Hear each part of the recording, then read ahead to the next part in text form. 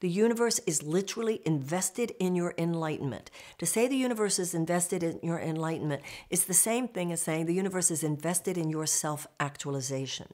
Light means understanding. So to say that the universe is invested in your enlightenment means it's invested in your total understanding of who you are.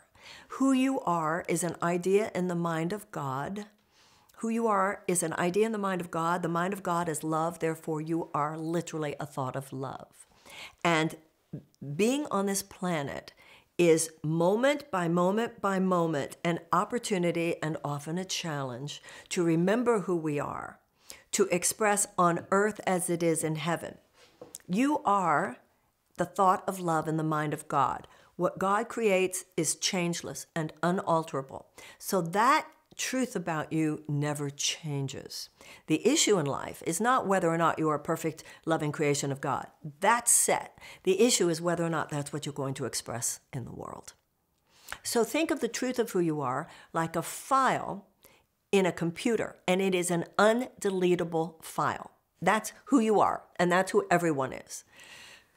The issue is that we've been so confused living in this world, and we've been so trained to think that we are who we aren't and to think that we aren't who we are, that often, instead of being conscious, instead of consciously choosing to express our love, we move into a tightened place, we move into a constricted place, and we move into judgment, we move into attack, and we move into defensiveness. Only love is real. What is all encompassing can have no opposite. So that means that when we're thinking without love, we're actually not thinking, we're hallucinating. And that's what the ego is. The ego is a false belief about who we are and a false belief about who other people are. When you realize who you really are, you also realize who other people are. All you are is love inside the mind of God. And that's all who other people are as well. So you've heard the line, there is only one begotten Son. From an esoteric metaphysical perspective, to say there is only one begotten Son means we're all it.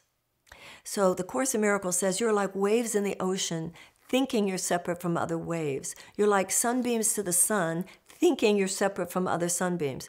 But really, there is no place where one wave stops and another starts. There really is no place where one sunbeam stops and another starts. But think about the psychological and emotional difference produced by those two differing ways of looking at the world.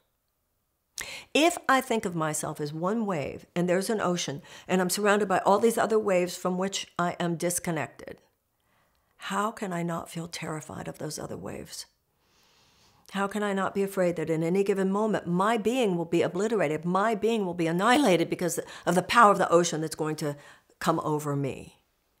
But if, on the other hand, I think I'm connected with every other wave, there's just one of us here. I'm connected with every other wave. I'm part of the ocean. Then I feel at home in this universe. This is extremely important. When I think of myself as one with everyone, I can feel at home here. When I think of myself as separate from other people, I cannot feel at home. And then I really am tempted to mess up relationships because I'm trying to get other people to either like me or other people to act a certain way so I can feel at home. But my even wanting them to do that is based on the idea that I don't realize I am home.